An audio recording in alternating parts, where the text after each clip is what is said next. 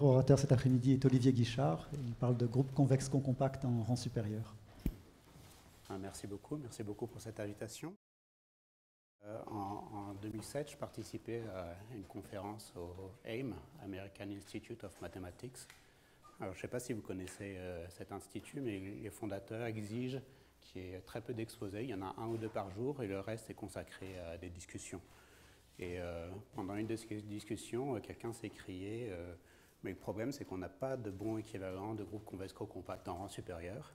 Et ce à quoi quelqu'un d'autre a répondu Quoi, mais t'aimes pas les représentations anosophes et euh, bah, mon but dans cet exposé, bon, ce ne sera peut-être pas que vous aimiez à la fin de l'exposé les représentations nosophes, mais au moins que vous ayez une idée euh, de ce qu'elles sont et qu'elles constituent un bon équivalent euh, des groupes convexes compacts en supérieur. Je vais tout de suite rentrer dans le vif du sujet en énonçant un résultat qui est dû à Kapovic, Leb et Porti.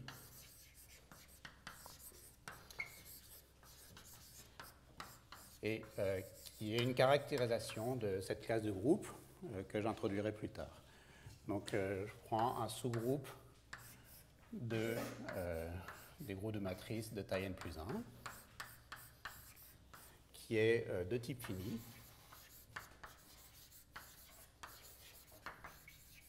Il est engendré par une partie finie. Et on fait l'hypothèse suivante. que je vais appeler euh, régularité euh, quasi isométrique et qu'il existe des constantes l'une strictement positive telles que euh, pour tout gamma dans gamma la différence entre les deux premières valeurs principales de gamma vu comme un élément de GNM de R est contrôlée par la longueur de gamma dans le sous-groupe gamma. donc c'est euh, l'hypothèse euh, qui est faite ici et euh, je la motiverai plus tard. Et les conséquences sont les suivantes. C'est qu'il y a beaucoup plus de structures que juste sur les valeurs propres.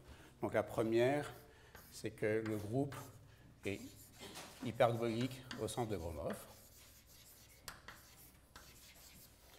La deuxième, c'est qu'il existe euh, des applications du bord de Gromov dans l'espace projectif et son dual. Donc il existe deux applications, une que j'appelle bêta 1 du bord de Gromov du groupe dans l'espace projectif, et la deuxième que j'appelle bêta n, parce qu'elle va dans les n plans, dans l'espace projectif dual qui sont euh, continues et euh, équivariantes par rapport à l'action de gamma et euh, vérifiant des possibilités de, des propriétés transversalité. Donc pour tout point du bord distinct de gamma, on se demande que la droite bêta 1 de eta soit transverse à l'hyperplan bêta n de eta prime.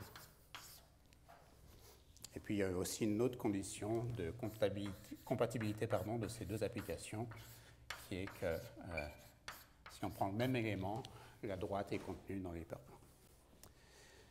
Et euh, la troisième condition va être euh, un peu plus longue à exprimer, mais exprime un contrôle très fort sur les valeurs propres des éléments du groupe. Donc on a un contrôle sur les valeurs principales, là j'exprime un contrôle sur les valeurs propres. Ça ne va pas tout de suite se voir que c'est un contrôle sur les valeurs propres, mais je vais l'exprimer de la manière suivante. Donc il existe pardon, une constante strictement positive, et puis une autre positive ou nulle, telle que ben, à chaque fois que je prends une géodésique dans gamma, je rappelle que gamma est euh, muni de sa métrique des mots, et que je regarde les jeux pour cette métrique des mots, avec état son point à l'infini.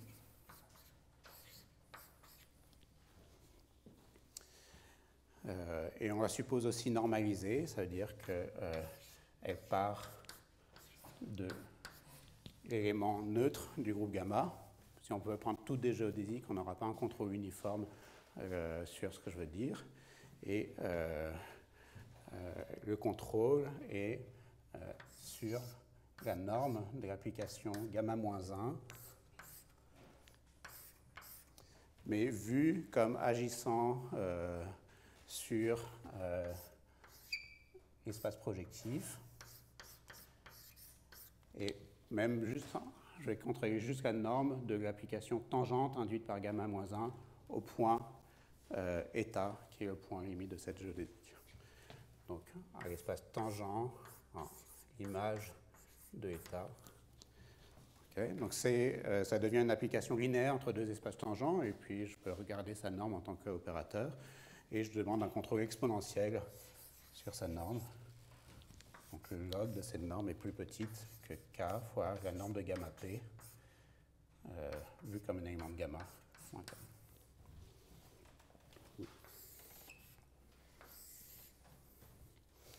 Donc je vais quand même euh, introduire pour rappeler les notations que j'utilise, si on a un élément dans GLN plus 1 de R, ben, euh, la suite des valeurs propres de G transposées de G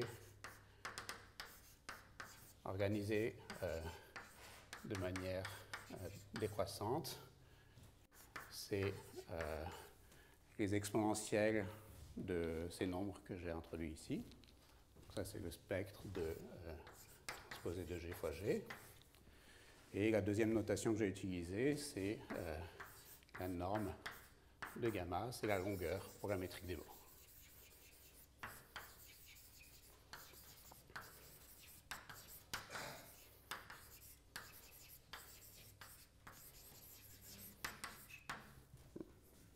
Donc, avant de euh, donner un petit peu plus le contexte de ce théorème et euh, euh, des explications. Je veux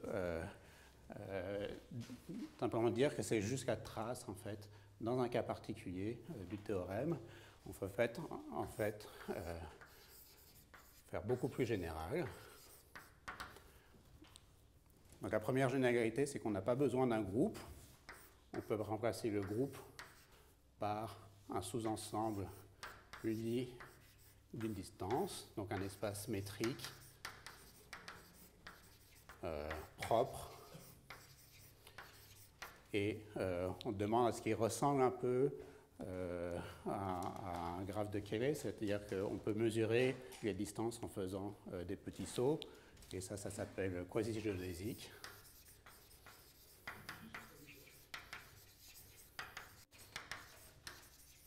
Je n'ai pas entendu la question. Pardon?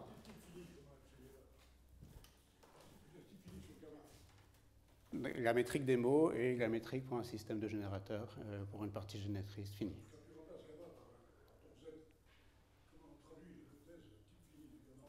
Propre. Euh, les, bouts sont euh, compacts. On dit peut-être localement compact parfois. Alors je sais pas, peut-être que peut-être une terminologie plus, euh, euh, plus, acceptée. Non? Bon, quelqu'un me dit que propre, ça existe. Mais euh, voilà, donc les, boules fermées sont compactes.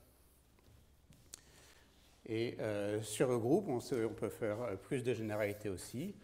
Donc GN plus 1 de R, on peut le remplacer par les euh, k points d'un groupe algébrique euh, réductif donc, sur un corps euh, valué et j'écris quelconque. C'est-à-dire qu'on n'est pas obligé de supposer que le corps valué, lui, est localement compact. Donc on a aussi des corps un peu plus généraux qui apparaissent structurellement dans la preuve du théorème. Euh, qu'est-ce que je voudrais euh, rajouter? Donc si on travaille dans ce cadre, il faut remplacer euh, l'espace projectif et son dual par autre chose et on remplace ça par G mod P et G mod P opposé, où P c'est un sous-groupe parabolique de G.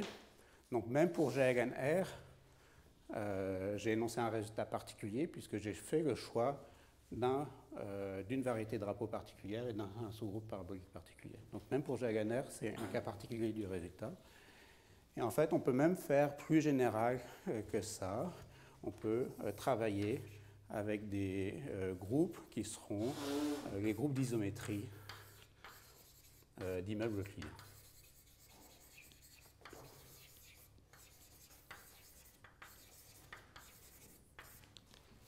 Donc ça, c'était le, commentaire sur quelle est la généralité euh, du euh, résultat. maintenant, ce que je voudrais euh, exposer, c'est les groupes convexes compacts de l'espace hyperbolique, parce que pour l'instant, vous ne voyez pas du tout le rapport avec le titre de l'exposé. Donc je vais faire rapidement un rappel là-dessus, voir que ce n'était pas évident de généraliser cette classe de groupes. Donc on a des résultats de rigidité euh, si on copie euh, trop rapidement la définition qui disent qu'on n'obtient pas d'exemple intéressant, ou euh, si on fait une définition trop faible, on a une classe de groupe qui a de mauvaises propriétés. Ensuite, je vais introduire la notion de représentation anosophe qui est due à François Labourie et dont deux caractérisations apparaissent ici dans ce théorème.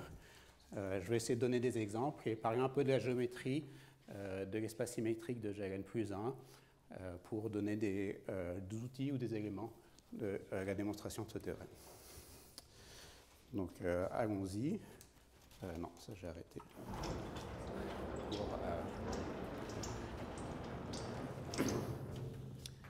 ce qui se passe dans la géométrie hyperbolique classique et la définition de groupe convexe-compact suivante. On prend un sous-groupe des euh, isométries de l'espace hyperbolique que j'identifie au groupe orthogonal pour la forme de signature N1, qui a des indices finis qui euh, rentrent dans cette identification. Et on dira qu'il est euh, convexe ou compact.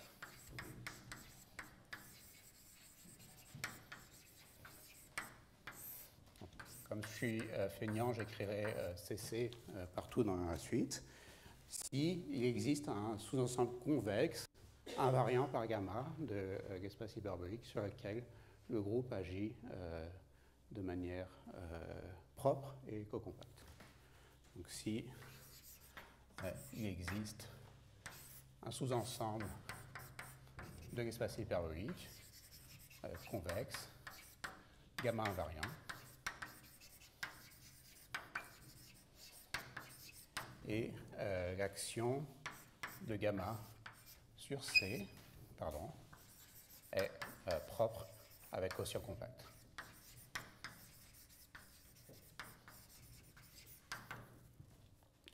Donc je vais faire euh, trois petits dessins, les seuls que je peux faire, donc c'est pour n égale à 2 pour des surfaces, et je vais dessiner à quoi peut ressembler le quotient du euh, plan hyperbolique par un groupe, un tel groupe. Donc on a euh, les groupes compacts rentrent dans cette catégorie et les quotients sont des surfaces euh, de genre plus grand ou égal à 2. les groupes qui ne sont pas forcément co-compacts, mais dont les composantes infinies sont des, je ne sais plus comment on dit en français, fanel en anglais. Et euh, ce qui est interdit, c'est euh, les pointes de volume fini. Donc si vous avez une surface avec une pointe comme ça de volume fini, ben, celle-ci n'est pas euh, convexe ou compacte.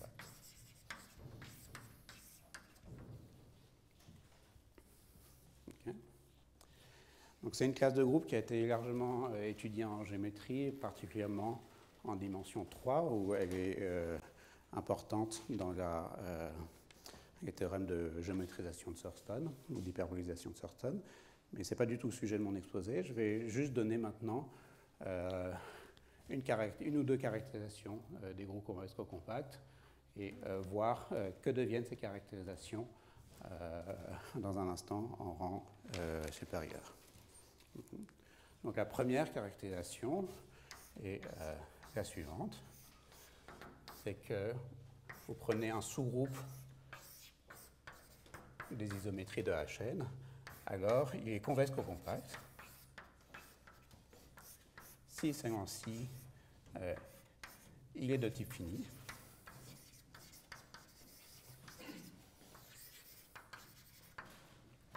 Et euh, il existe des constantes, euh, comme dans l'énoncé du théorème qui est derrière le tableau maintenant, qui contrôlent la première valeur principale de gamma. Donc mu1 de gamma est plus grand ou égal à euh, c constante fois la longueur de gamma. Donc qu'est-ce qui se passe d'un petit peu particulier pour euh, ON1 C'est que euh, mu2 jusqu'à mu-n sont égaux à 0 et le mu-n plus 1 est l'opposé de ce mu1. Donc je suis bien en train de regarder ici mu1 moins mu2, mais le mu2 vaut 0. Donc c'est la première caractérisation euh, que euh, je donne. Et euh, le sens direct est relativement facile. Pour le sens réciproque, on a besoin d'un théorème ou d'un lemme qui s'appelle le lemme de Morse, qui dit que si vous regardez l'image d'une géodésique dans gamma par, et quand vous cette géodésique dans euh, l'espace hyperbolique. Ça devient ce qu'on appelle une quasi-géodésique. Et dans l'espace hyperbolique, il y a une vraie géodésique qui est euh, proche de cette quasi-géodésique.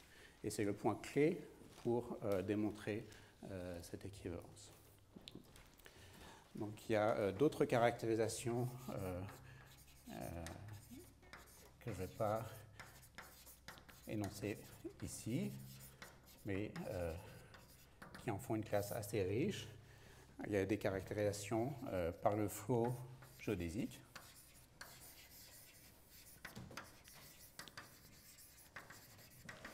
Donc la surface ou euh, la variété quotient a euh, une variété riemannienne, elle est munie d'un flot géodésique, et la caractérisation ici, et on demande que l'ensemble récurrent du flot géodésique soit compact. C'est aussi une caractérisation. Il y a des caractérisations, mais qui sont un peu plus longues à introduire, par euh, l'action de gamma sur le bord à l'infini de la chaîne et qui euh, font rentrer en jeu euh, l'ensemble limite de gamma dans ce bord à l'infini. Donc,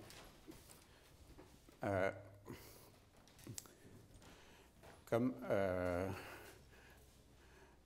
de la définition de cette proposition, il vient euh, le fait suivant, euh, qui est euh, gratuit en géométrie hyperbolique, et qu'un groupe convexe compact est toujours hyperbolique au sens de Gromov.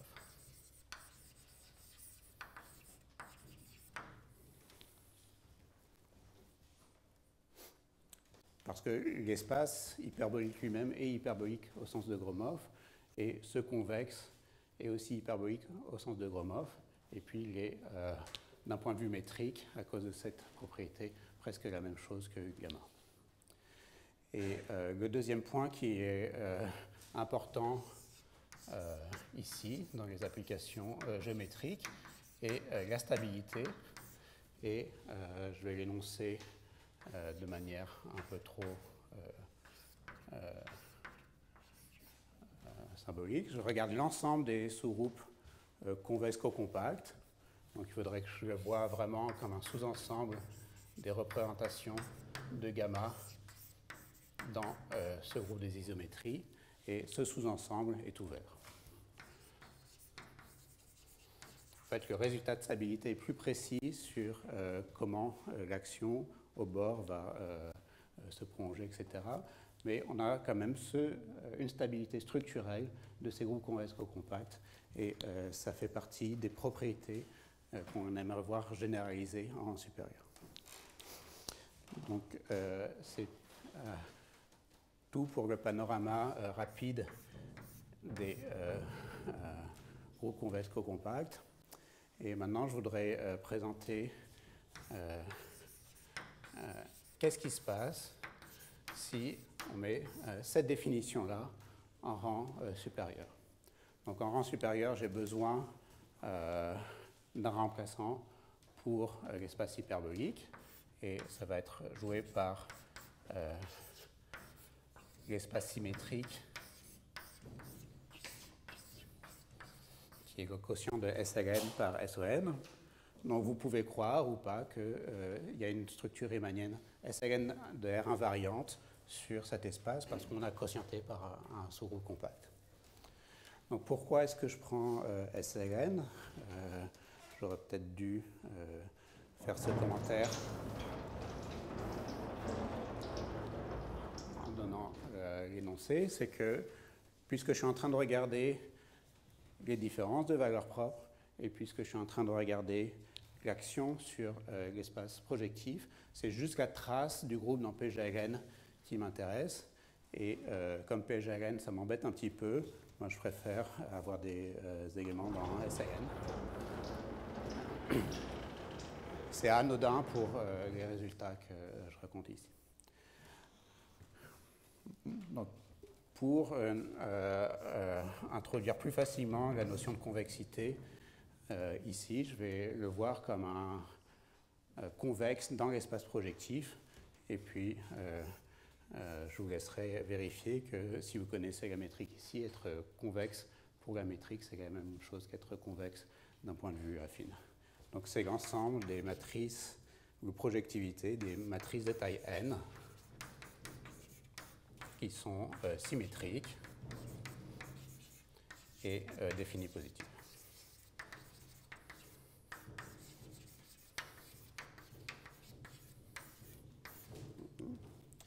Et le résultat de rigidité euh, que je vais énoncer est dû à Kleiner et Gelb.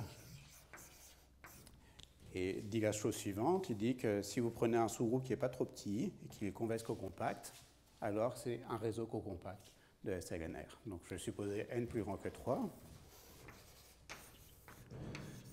Je prends gamma, un sous-groupe de SLNR qui est euh, Zariski dense.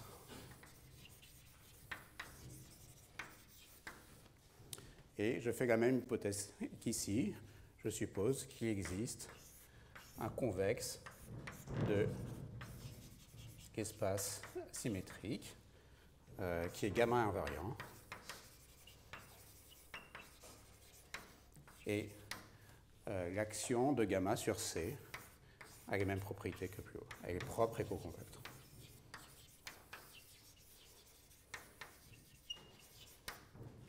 Et la conséquence, c'est que le groupe gamma est un réseau.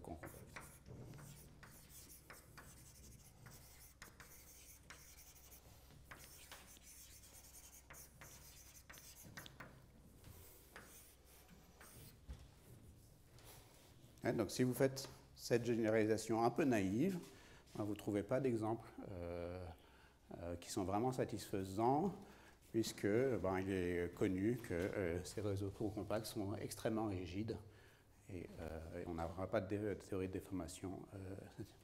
donc on peut se passer de l'hypothèse d'Ariskidance ici. il vient un théorème de structure sur le convexe et sur le groupe qui dit que euh, les groupes qui vont être obtenus soit viennent tous d'une situation de rang 1, soit de réseaux compacts en rang supérieur. Et puis il y a un autre résultat de, rigidité que je ne vais pas écrire, mais avec des hypothèses euh, euh, qui remplacent la caractérisation ici par le flot géodésique. Donc j'écris juste que Jean-François Quint a un résultat de rigidité pour euh, euh, les flots. Donc on prend un sous-groupe discret, on demande que l'ensemble de récurrents pour un certain flot soit compact, alors c'est un réseau compact. Non.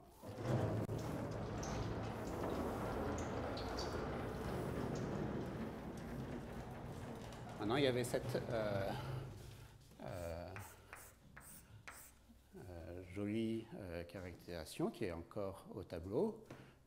J'aurais dû dire que la formule qui est écrite à, à, droite dans l'équivalence, on, on, dit que le groupe gamma est quasi isométriquement plongé dans ON1.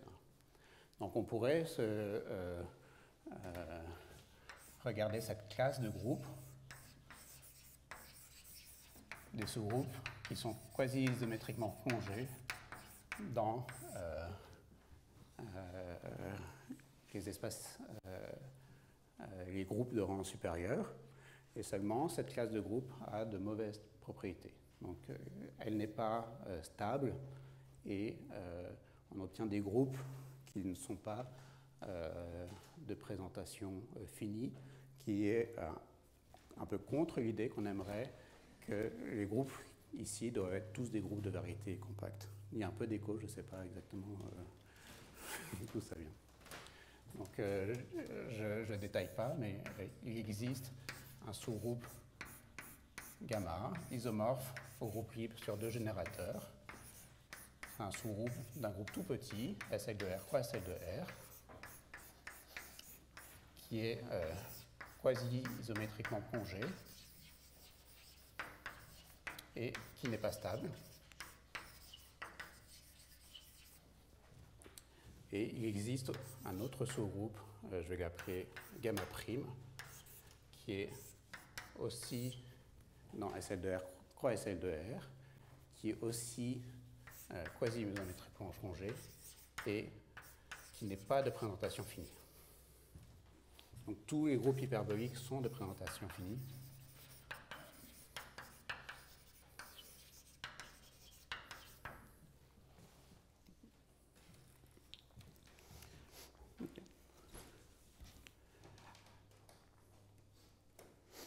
Maintenant, je vais introduire euh, ce que je vous avais promis dans, euh, l'introduction, euh, le début, au début de l'exposé. Je vais introduire la classe des représentations anosophes. Euh, vous ne verrez pas pourquoi euh, François Labourie a choisi le mot anosophe dans la façon euh, dont j'ai présenté cette classe de groupe et en donner quelques propriétés. Donc, donc, dans la définition, je on va supposer a priori que le groupe est hyperbolique au sens de, Gromov. prends gamma hyperbolique. Son bord de Gromov, je le note toujours euh, de la même manière. Et puis, euh, je parlais de sous-groupe jusqu'à présent, mais c'est parfois un petit peu plus commode de prendre un groupe abstrait et un morphisme dans euh, GNR. Donc, c'est ce que je vais faire ici. je, suppose qu'une, je dis qu'une représentation de gamma dans euh, G plus 1 est anosophe. Ben, s'il existe ces applications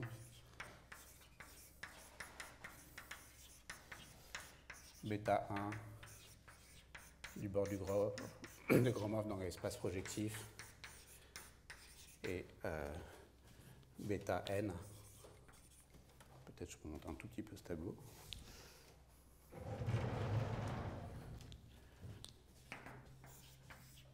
Dans l'espace projectif dual, euh, toujours euh, continue, équivariante, pardon,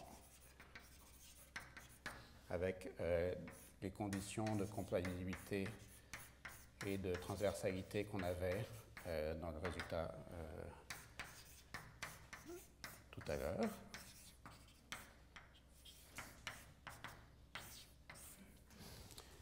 Et euh, je vais demander une propriété de contraction qui sera une propriété beaucoup plus faible que celle que j'ai énoncée dans le théorème, qui est aussi équivalente.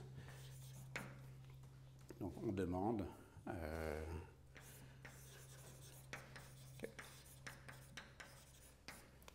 propriété de contraction, on prend état 1 Alors ça résonne quand j'approche trop le tableau.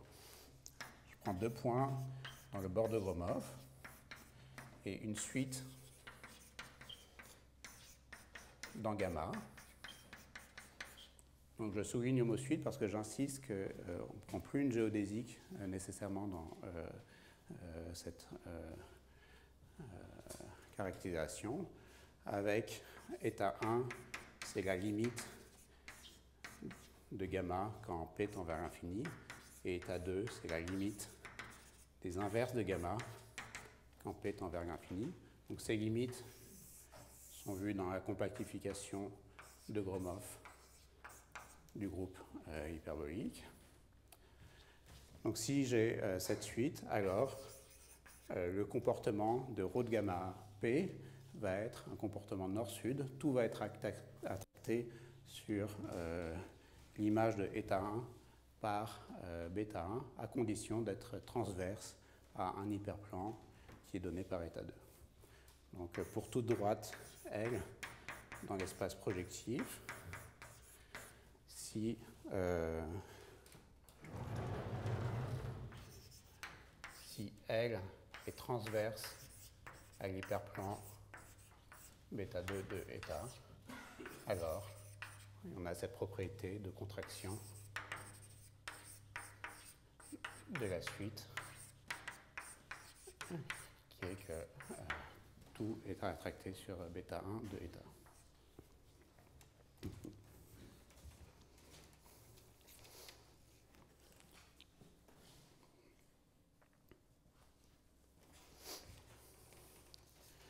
Quelles sont euh, les bonnes raisons euh, euh, qui nous font penser que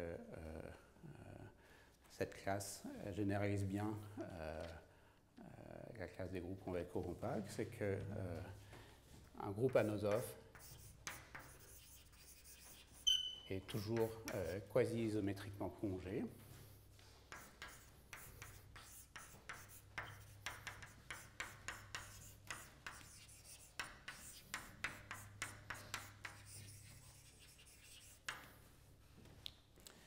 mais euh, plus euh, euh, importante, c'est la notion de la propriété de, stabilité structurelle, qui est que l'ensemble des représentations anosophes est ouvert dans la variété de représentations, donc l'ensemble des morphismes de gamma dans GL plus en dehors.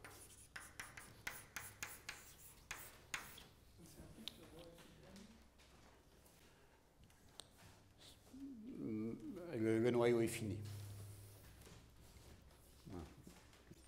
Donc il pourrait y avoir un, noyau fini, c'est la seule, possibilité. Donc l'un des intérêts pour moi de, cette notion est euh, la richesse euh, des exemples qui euh, satisfont cette condition. Donc les groupes convex sont anosophes. C'est le premier exemple. On peut euh, construire des groupes de Schottky qui sont euh, anosophes, donc les sous-groupes de Schottky.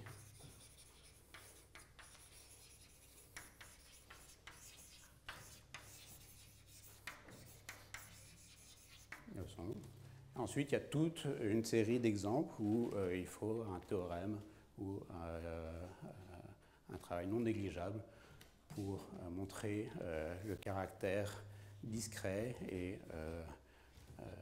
toutes ces propriétés de plongement des représentations. Et une qui est emblématique est ce qui est maintenant commun d'appeler les espaces de Teichmüller généralisés.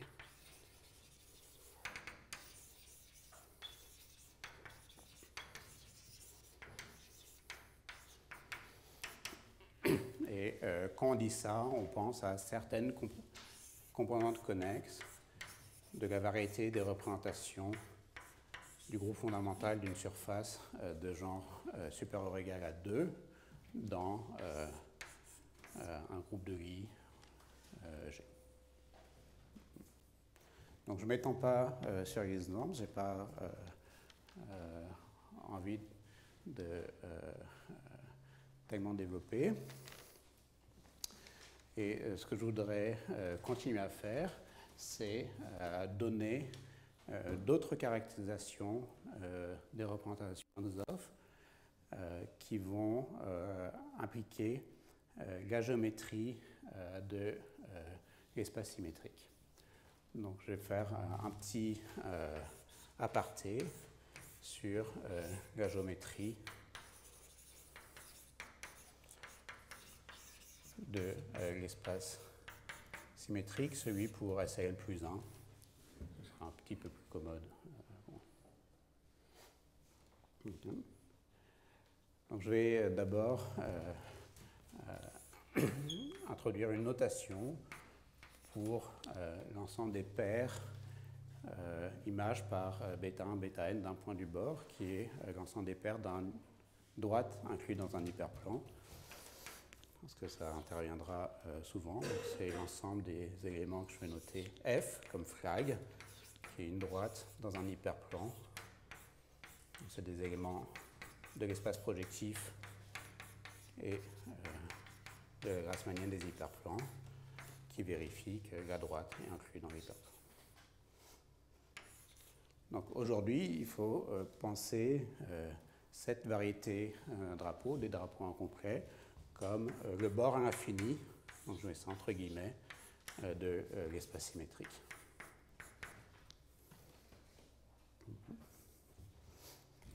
Et puis, je vais introduire, je pense, des points bases. Donc je vais noter euh, S0, la classe de SO n plus 1, ou la classe de l'identité dans euh, l'espace symétrique xn plus 1. Et euh, je vais noter F0, le drapeau construit avec les éléments de la base canonique de Rn. Donc le premier, la droite est engendrée par le premier vecteur de base, et puis euh, l'hyperplan et l'orthogonal du dernier vecteur de base. Et euh, un, sous-groupe qui va euh, jouer une importance dans les définitions, c'est le stabilisateur de ce drapeau F0 dans le groupe compact SON+.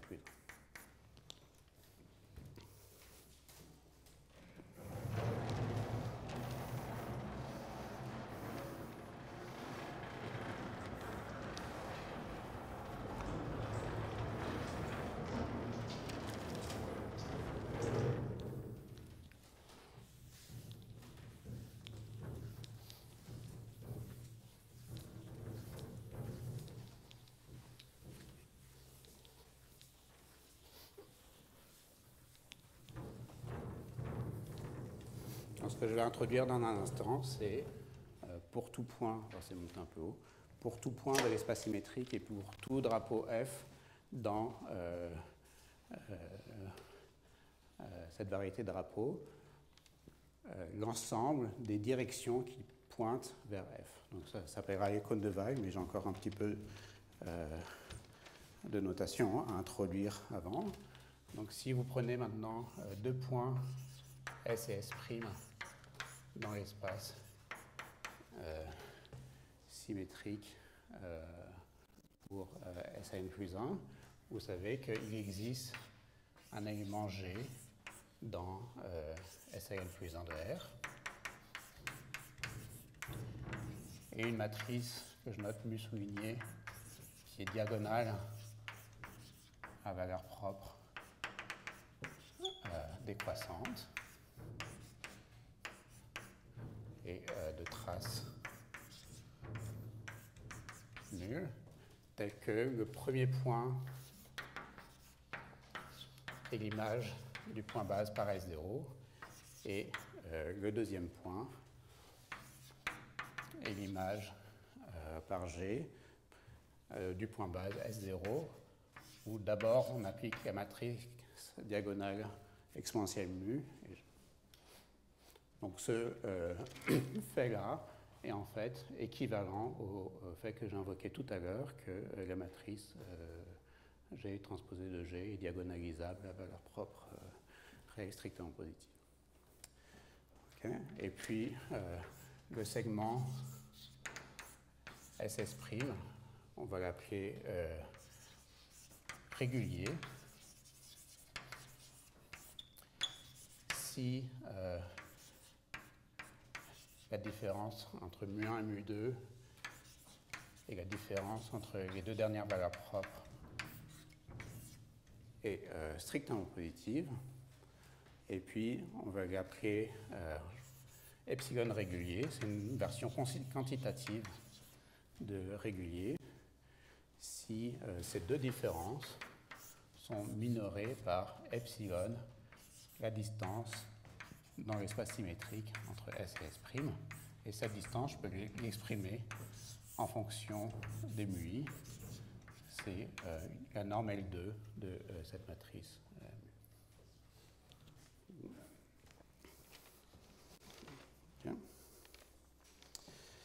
Donc, euh, quels sont ces sous-ensembles qui pointent dans la direction d'un drapeau? Ben, Je vais juste d'abord introduire ce qui pointe euh, à partir du point base S0 dans la direction F0, et puis ensuite je prendrai les images par les isométries pour avoir tous les deux.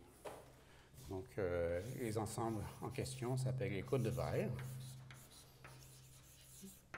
Donc à ma connaissance, c'est une, terminologie introduite par euh, Kapovic et Beporti. Et ces cônes de Weil, le premier, donc euh, centré en, S0 et dans la direction F0, hein, c'est l'ensemble des m exponentielles mu euh, fois S0, où m est dans le stabilisateur de, euh, du drapeau F0 et mu est une matrice diagonale à coefficient décroissant.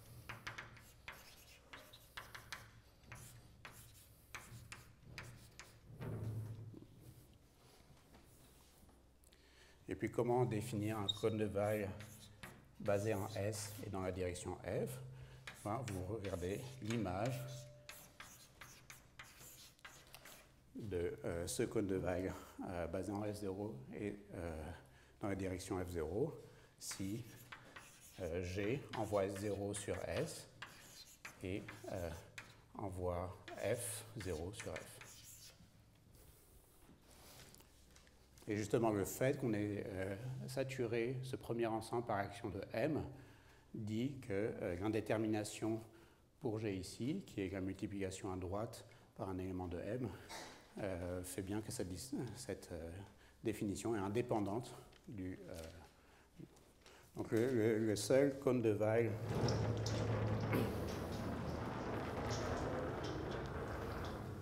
que je peux vraiment dessiner, c'est pour SL3 donc c'est en rang 2. Euh, les cônes de Weil ici sont euh, de dimension 2. Donc euh, j'ai mon point S0. Le plan qui est l'orbite de S0 sous l'action du groupe diagonal. Et il y a dans ce plan trois droites particulières qui correspondent à quand les matrices diagonales ont des coïncidences sur leur valeur propre. Et euh, le cône de Weil est égal ici à la chambre de Weil.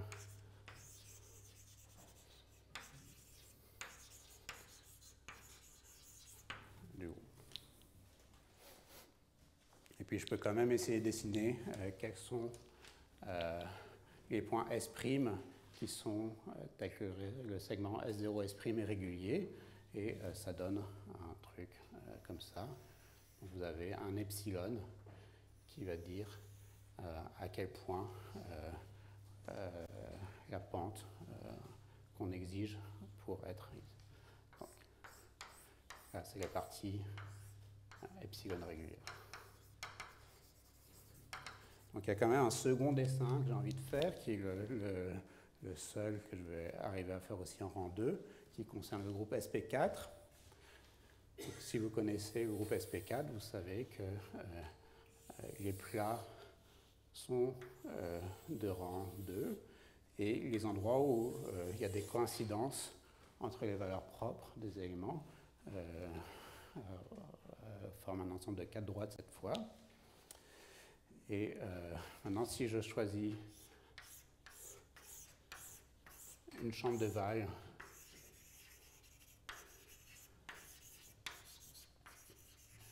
ça va être ça, c'est euh, l'image par euh, le remplacement euh, des matrices diagonales à coefficient décroissant. Mais le cône de Weyl, donc si on fait le même choix de variété de drapeau ici, est constitué par la trace du cône de Weyl dans la variété drapeau et ce chose-là. Et euh, ce qui manque dans le dessin, qui fait de la dimension supérieure, est que le stabilisateur M, ici, devient un groupe qui a de la dimension et qui fait tourner, en fait, autour de cette droite. Donc je ne peux pas euh, dessiner autre chose qu'il faut imaginer qu'il y a euh, tout un tas de cônes comme ça qui viennent s'accumuler sur cette droite. Et les éléments réguliers ici vont juste s'écarter euh, dans la chambre de euh, cette droite-là, mais dans l'image ici de la chambre de Weyl, ils s'écartent de cette droite-là. donc euh, ici, j'ai les éléments qui sont epsilon réguliers.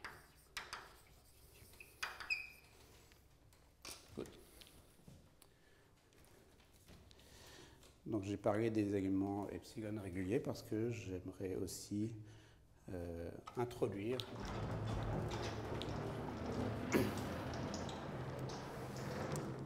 euh, des versions euh, quantitatives de ces ensembles. Donc il y, en a un qui manque encore, qui sont appelés diamants. Donc ça ressemble vraiment à des diamants dans le cas SL3 euh, en dimension, enfin en rang plus grand, c'est un peu euh, différent. Donc la première remarque, avant de définir les diamants, c'est euh, la chose suivante, c'est que un segment est régulier si le segment ci, déjà le segment vu dans votre sens est régulier, c'est qu'on a imposé une symétrie euh, à regarder ces euh, deux différences. Mais ce qui est plus intéressant à démontrer, c'est si c'est en si, S' est contenu dans un unique cône de Weyl euh, basé en F. Donc il existe un unique F tel que S' appartient au cône de Weyl S. Et ça permet de définir euh, les diamants. Donc on prend euh, un segment régulier et puis on définit le diamant comme l'intersection du cône de Weyl basé en S et contenant euh, S' avec le cône de Weyl basé en S' et contenant F. Donc ces deux sous-ensembles sont uniquement caractérisés par le fait qu'on demande que S et S' appartiennent à C. Et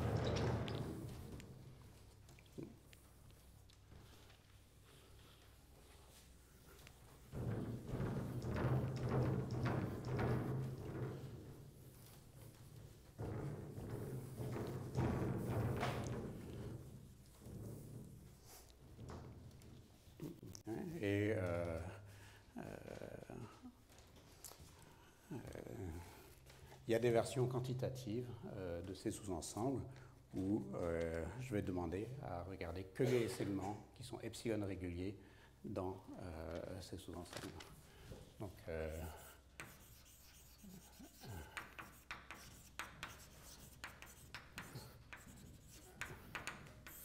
je les note avec un exposant epsilon. Et pour regarder l'ensemble des S' dans euh, le cône de Weil tel que le segment SS' est epsilon régulier.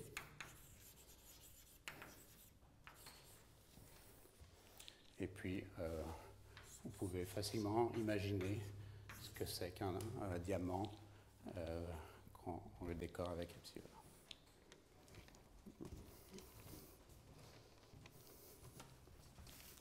Donc on voit un premier phénomène apparaître qui en fait que c'est uniquement la géométrie euh, de l'espace symétrique qui euh, euh, va compter. Et c'est pour ça qu'on pouvait généraliser très facilement les notions pour les groupes d'isométrie d'espaces symétriques généraux d'immeubles euclidiens généraux. Donc maintenant, je vais donner différentes caractérisations pour les groupes Anosov avec l'action sur euh, l'espace symétrique. Donc, euh, les, caractérisations que je donne maintenant vont faire l'hypothèse a priori que le groupe est hyperbolique au sens de Gromov, donc elle pourrait paraître un petit peu plus faible que celle que euh, comme premier résultat, qui ne faisait pas cette hypothèse, mais euh, donc il y aura deux caractères intéressants. Le premier, c'est que euh, on ne fera pas euh, d'hypothèse d'uniformité sur la régularité. Et le deuxième, c'est qu'on aura un résultat qui permet de caractériser les représentations anosophes à partir d'un nombre fini de, conditions. Ce n'est pas effectif, mais c'est les résultats que je vais présenter maintenant. Euh, donc, faute de temps, euh, je ne présente pas d'autres caractérisations des représentations en offres en termes de l'action sur euh, la variété de drapeaux qui miment ou font penser aux, caractérisations des sous-groupes convexes compacts en termes de leur action sur le bord infini de l'espace hyperbolique. Et donc c'est dommage de ne pas faire ça parce que ces caractérisations-là euh, ne font pas l'hypothèse a priori que le groupe est hyperbolique au sens de Gromov. C'est une conséquence euh, euh, de l'action qui est. Donc je vais énoncer maintenant trois résultats qui sont dus à, Kapovic et à Beporti. Donc le premier est le, suivant. On prend un sous-groupe de Sn plus 1 de R qui est hyperbolique. Donc ça veut dire qu'il est de type fini et hyperbolique au sens de Gromov. On fait euh, une hypothèse de régularité qui est que euh, si vous regardez une suite dans gamma d'éléments 2 à 2 distincts et que vous regardez les différences des valeurs principales de cette suite, ça tend vers plus l'infini. Donc je l'écris euh, de manière un peu condensée en disant que euh, si vous prenez des éléments du groupe qui tendent vers l'infini, différents tendent vers l'infini. Et puis, euh, on va supposer une condition qui est appelée de type Morse.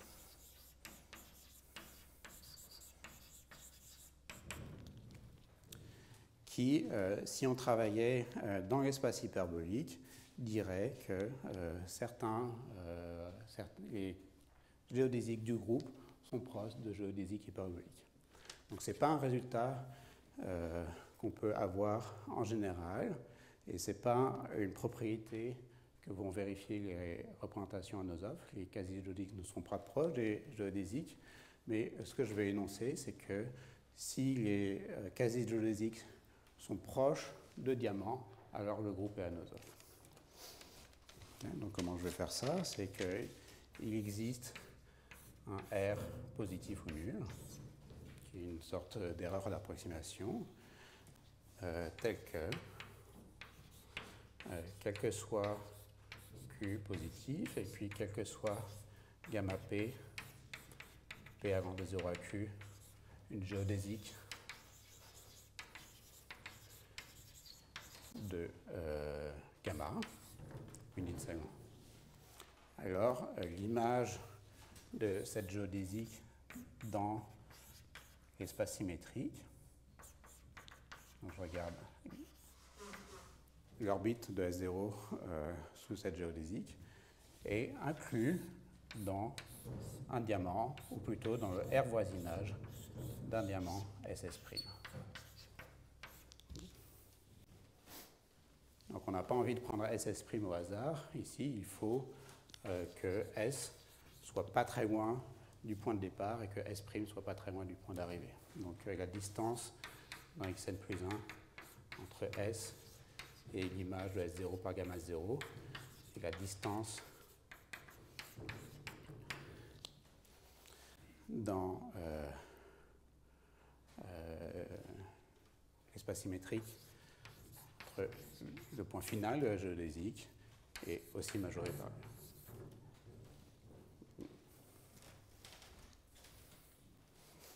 Donc, euh, la conclusion de ce théorème est que le groupe est Anosov.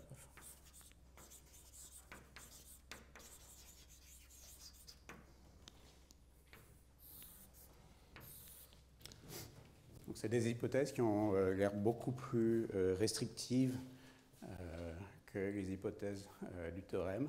À nouveau, l'uniformité est manifestée de manière assez différente ici ce qui est, euh, euh, je pense, un peu plus euh, pertinent ici est que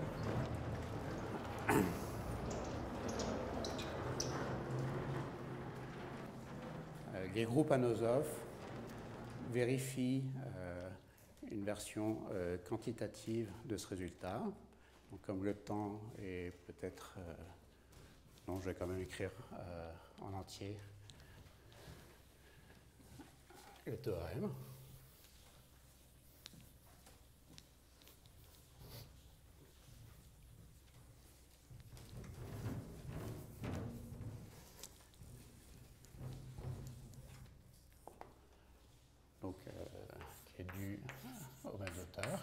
Auteur, Kapovic et euh, on suppose que le groupe est anosophe.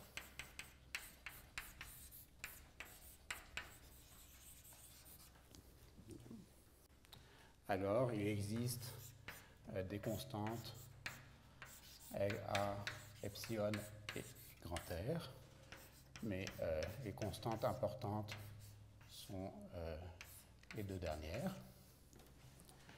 Les premières constantes disent que le groupe est quasi isométriquement rongé avec les constantes A, et les deuxièmes vont imposer la régularité, mais de manière quantitative avec le epsilon donné. Alors, euh, voilà, tel que, euh, quel que soit Q, quel que soit gamma P euh, géodésique, l'explication qui a P associe l'image de S0 par gamma P est une quasi-géodésique avec les constantes LA.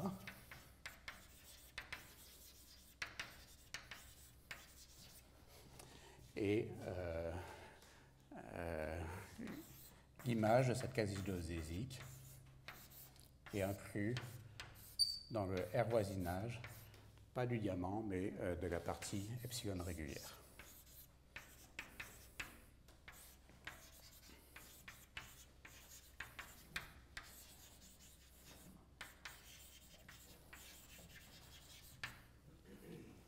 Donc c'est à nouveau une propriété euh, qu'on peut interpréter comme un contrôle quantitatif des valeurs propres euh, des éléments gamma, qui est un peu euh, similaire à celui de l'énoncé.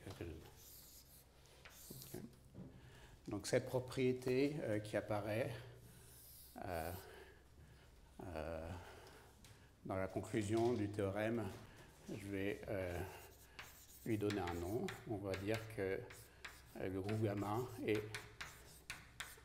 plongé pour euh, les constantes euh, à epsilon r. Et euh, si vous avez la propriété uniquement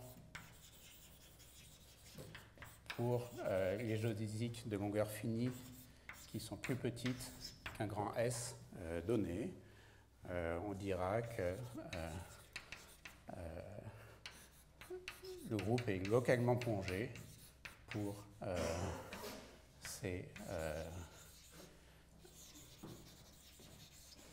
constantes.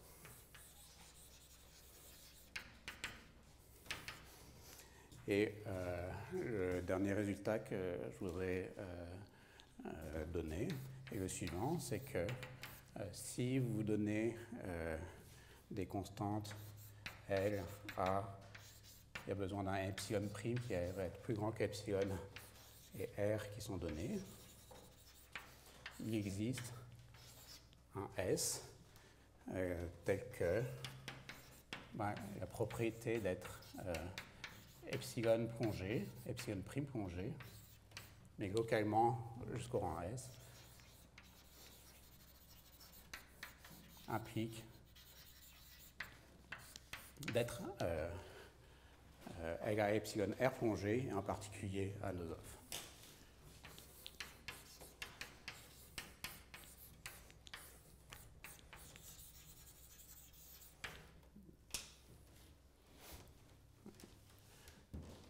mon temps à partie est terminé. Euh, la euh, fin de la démonstration, ou la démonstration du théorème, implique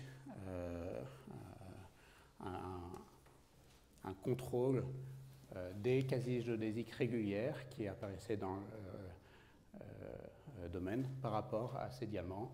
Et ce contrôle est obtenu en prenant des cônes asymptotiques et aussi des cônes asymptotiques d'espace symétrique. Et ces cônes asymptotiques d'espace symétrique sont justement des immeubles euclidiens. Donc c'est pour ça que faire l'analyse aussi pour les immeubles euclidiens était importante dans la. Mais je n'ai pas euh, le temps de donner euh, d'autres éléments de la preuve. merci.